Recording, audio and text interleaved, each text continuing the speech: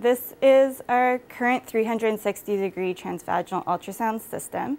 In my lab at the Robarts Research Institute, we've been focusing on developing technologies uh, that make use of ultra ultrasound imaging.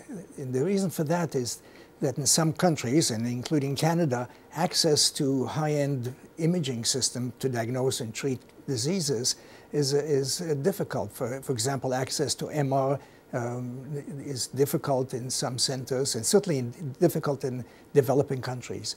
So for that reason, we've been focusing on ultrasound, which is widely available everywhere in the world, and, and it can be used for a variety of applications. But in addition to uh, the use of ultrasound, what we have developed is specialized technologies, um, me mechanisms, and, and, software that converts a conventional ultrasound machine into a 3D imaging system to rival CT and MR. We've been focusing also on using this technology in image-guided intervention, which means guiding needles into the body for biopsy or to guide uh, therapeutic applications, such as what Jessica is developing, applications for gynecological cancer. And then being a 3D image, we can also rotate the image around. The procedure that we're dealing with is known as high dose rate interstitial brachytherapy.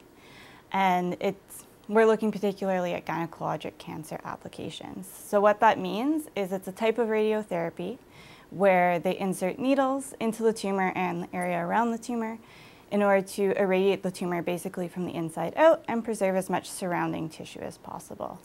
But the problem with the current procedure as it is, is that they don't have a really good way of seeing where those needles are going as they're actually being inserted. So what's often done is that the needles are inserted based off of what the clinician has seen on preoperative imaging, but once all the needles have been inserted, they send them for a CT scan, and at that time, if they discover any needles that have been misplaced, they might not be usable for treatment or might lead to other complications or a suboptimal dose plan. Um, so we're trying to add that intraoperative imaging piece by using the 3D ultrasound technology um, to visualize those needles as they're actually being placed.